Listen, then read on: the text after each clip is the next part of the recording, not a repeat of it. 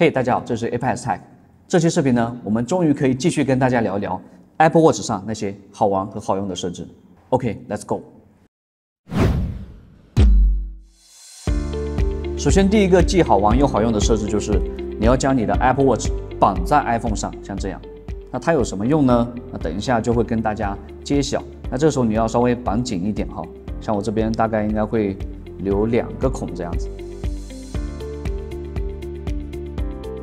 解锁你的 Apple Watch，输入密码，在 Apple Watch 上打开相机，把这个调到录影的模式。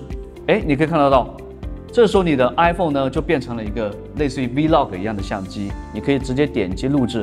那这个时候 iPhone 就会直接录制画面。Apple Watch 呢就变成 iPhone 的监视器，有了这个小小的监视器呢，你可以非常的清楚你自己在画面当中的位置。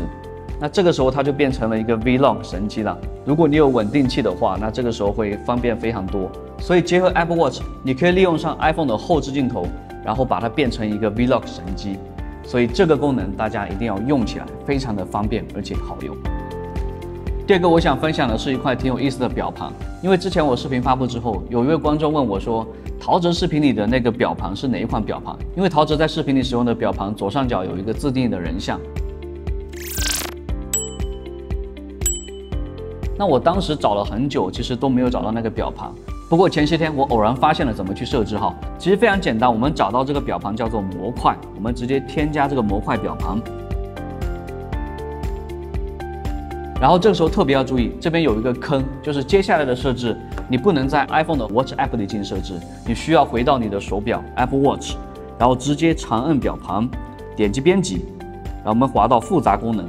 那这个时候你可以看得到，它所有可以编辑的模块都用框框框出来。那我们选择左上角这个圆圈这边，OK，我们这时候往下滑，滑到联系人。好，你选择一个带有头像的联系人，比如说我这边就选择我自己好了，Apex Tech。哎，大家可以看得到，我这个头像就出来了，对吧？当然，这边你完全可以换成你喜欢的人啊、宠物啊，或者其他的花花草草都可以。这边一定要注意的就是，当你在 iPhone 的 Watch App 里编辑这个表盘的时候，左上角这个圆圈的地方，在 iPhone 的 Watch App 里你是找不到联系人这个选项的。所以因为这个坑，我当时一直没有找到怎么去设置这个表盘。OK，那现在这个观众就可以跟陶喆用上同款的表盘了。当然了，这款表盘的其他模块呢，也可以去自定义，大家可以自己去研究一下。还有就是在 Apple Watch 设置里面，不单单是这个地方，你只能在 Watch 上进行设置。比如像我们之前讲到的，让 Apple Watch 显示的时间提前几分钟，那这个设置呢，也只能在 Apple Watch 上进行设置。iPhone 上的 Watch App 里同样是不行的。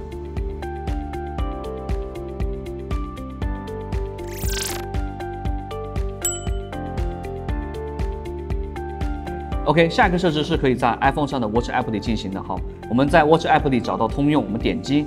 往下滑有一个床头钟模式，我们打开。当你打开这个功能之后，如果你的 Apple Watch 处于充电状态，那它就会变成一个非常精美的床头闹钟的图案。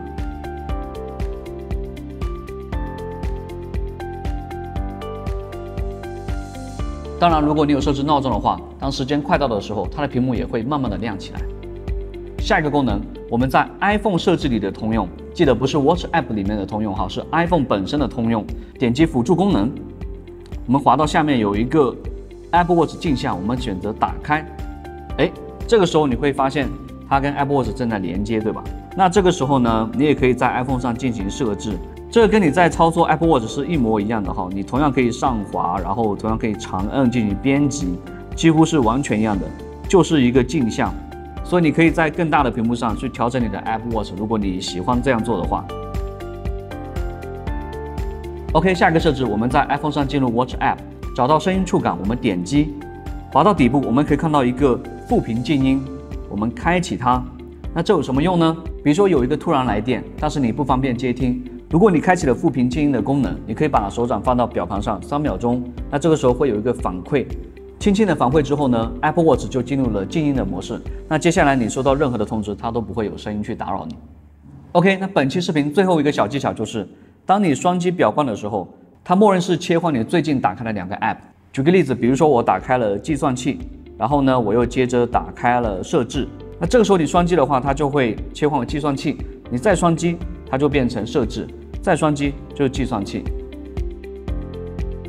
好了，本期的视频就简单跟大家分享这六个 Apple Watch 的使用技巧，希望对大家有所帮助。之前我还做过三期关于 Apple Watch 的视频，有需要的朋友可以去看一下。OK，如果你喜欢这个视频，记得帮我点赞分享，当然也非常欢迎订阅我的频道。这里是 Apex Tech，我们下期视频再见，拜拜。